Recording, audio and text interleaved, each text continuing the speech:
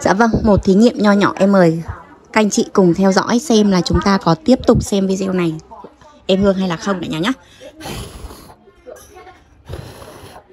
Hiện tại thì em Hương đang test cái tính năng an toàn của bếp ga nội địa Nhật. Đó là tính năng sẽ khóa ga khi mà bị mất ngọn lửa đi. Đối với tính năng này thì các anh chị sẽ đợi khoảng tầm 15 giây. Cả nhà đếm ngược giúp em Hương nào.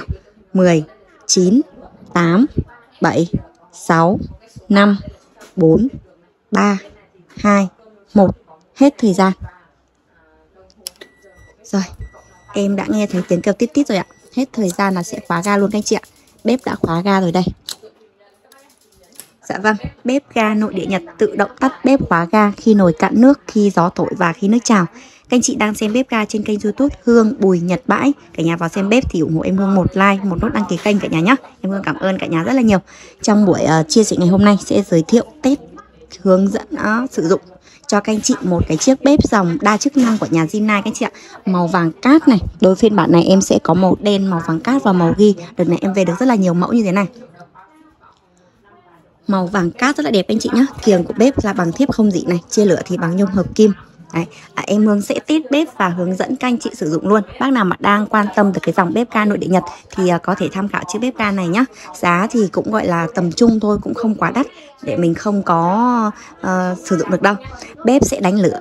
Đấy, bếp sẽ dùng một đôi pin đại làm nguồn. Đấy, Góc bên trái của bếp ga nội địa Nhật Thì bếp nào cũng sẽ là khay chứa pin hết. Phím nhấn đó là công tắc bật bếp các anh chị nhé Đấy, các anh chị nhìn thấy cái ngọn lửa nó xanh đúng không ạ? Xanh không thấy cái ngọn lửa luôn xanh quá luôn đấy ạ. Lửa rất là to cả nhà nhá lửa to xanh. Xanh không thấy một gợn đỏ hay là một gợn vàng nào. Mua bếp, mua lửa, mua may mắn. Em vừa test bếp và vừa hướng dẫn sử dụng luôn nhá. Bây giờ em sẽ test nhanh cái tính năng an toàn, Đó là tính năng chống cháy nồi đấy ạ. Các bà, các mẹ sử dụng cái chiếc bếp ga này thì thích lắm, không còn nỗi lo bị cháy nồi nữa. Khi mà chúng ta có bị quên thì cũng có một cái người bạn đồng hành cùng chúng ta trong cái không gian bếp của nhà mình. lửa to hay lửa nhỏ thì cũng đều rất là xanh đây đúng không ạ?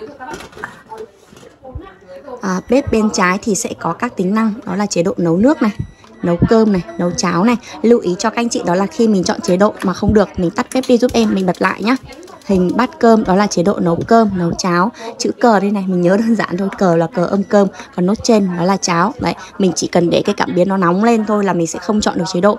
Một số anh chị không, chưa gọi là chưa có hiểu hết về cái tính năng của cái cảm biến nên là mình ấn không được, mình bảo nó bị lỗi, không phải đâu các chị nhát đây, để nó sáng là cái dòng nào là mình chọn cái chế độ đấy ạ. Rồi, bếp bên phải đã tắt rồi đấy ạ. Rất là nhạy, đúng không cả nhà? Trước khi lên trên kênh à, và trước khi gửi hàng đi cho các anh chị thì em đều test bếp rất là kỹ rồi. Cái chiếc này cũng tắt luôn. Bếp bên trái bếp bên phải. Em sẽ bật lại cho cả nhà cùng theo dõi luôn này. Phím nhấn rất là dễ sử dụng thôi không có gì khó sử dụng hết các bác nhé. Bếp bên à, phải thì sẽ có các cái tính năng đó là phím 3S này mình ấn và giữ 3 giây giúp em. Mình ấn và mình giữ để mình kích hoạt cái nốt này lên. Các anh chị bật lên khi mình chiên rán hoặc là rang đồ khô nhé còn nếu như mà nấu nướng bình thường thì mình không cần bật đâu ạ. Tùy chỉ nhiệt độ chiên rán từ 160 đến 200 độ C sử dụng cực kỳ dễ luôn. Không có gì là khó hết cả các bác nhé ngọn lửa thì xanh quá là xanh luôn này. Màu vàng cát rất là đẹp. Chiếc bếp này đời cũng khá là cao. 2017 các anh chị nhé tháng 9 2017 đây về uh, cái điểm trừ của bếp thì ở trên mặt nó cũng sẽ có một hai gọi là cái vết chày. Nhưng mà cái chỗ này thì nhà em có xử lý lại luôn rồi. Chung là hàng bãi mà cả nhà. Nên là uh, có chày ở đâu có điểm trừ ở đâu thì em cũng chia sẻ cho các anh chị nhé đây cái rìa của bếp đấy nó cũng hơi chày một tí này. Phần khung thì bao đẹp cho các anh chị rồi. Không có bị móc méo gì đâu. Không có bị móc méo gì hết đâu nhá. Dòng nướng hai tầng lửa các anh chị ạ. Nướng hai tầng lửa này. Đấy. Bác nào mà gọi là tín đồ của bếp nướng thì không nên bỏ qua cái chiếc bếp này. Em mời các anh chị cùng theo dõi phía trong nội thất của lò nướng nhá Sử dụng rất là dễ thôi, không có gì là khó sử dụng hết các anh chị ạ mình trải nghiệm bếp ga Nhật đi, mình thử những cái tính năng an toàn và mình thử những cái tính năng tiện lợi của bếp ga nội địa Nhật.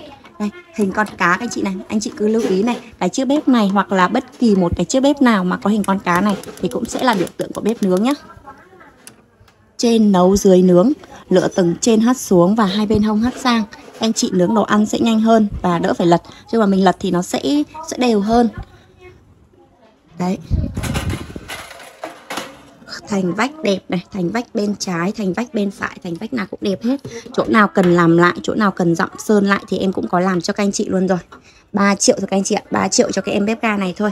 Bác nào mà quan tâm từ cái mẫu này thì liên hệ cho em Hương nhé 0359 014 200 là số của em Hương.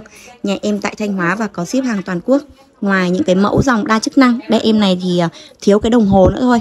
Thiếu cái đồng hồ nữa thì sẽ gọi là thành full chức năng các anh chị nhé Full chức năng.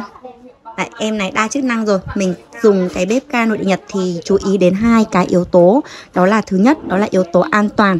Và thứ hai thì đó là yếu tố tiết kiệm. Thì ở những cái chiếc bếp ga nội địa nhật thì đều có đầy đủ hai cái yếu tố đấy rồi đúng không ạ?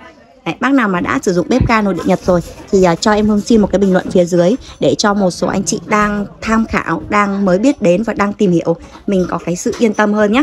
Còn bác nào mà chưa uh, có uh, gọi là đang còn băn khoăn ấy thì cứ xem thêm kênh nhà em một thời gian nữa không sao mình thêm thêm một tháng hai tháng có anh chị nhá có anh chị mua đến tận à, đợi đến tận một năm theo dõi đến một năm mới mua bếp không sao hết các bác ạ hoặc là các anh chị có thể kết nối Zalo hoặc là Facebook ờ, với em Hương để ờ, gọi là khoảng cách của người bán hàng và người mua hàng nó gần nhau hơn. Cảm ơn cả nhà rất là nhiều. 3 triệu cho em bếp ga xinh đẹp này. Bác nào mà quan tâm tới cái mẫu này thì liên hệ cho em nhé. Cảm ơn cả nhà rất là nhiều. Trước khi rời kênh thì các anh chị ủng hộ em một like, một nút đăng ký với ạ. Xin cảm ơn, xin chào và hẹn gặp lại.